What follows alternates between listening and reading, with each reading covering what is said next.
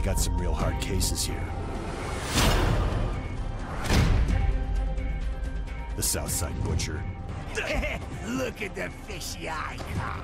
the guy who killed the VP's brother. Officially, I don't exist. I'm an agent for the company. My mission is to observe and report. But you don't send a guy like me to a place like this unless you're expecting to see some blood spilled.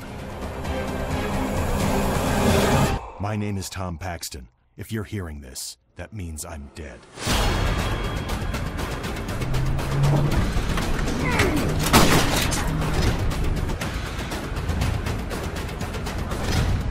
Everyone in this joint has a plan to bust out. Why should I be any different?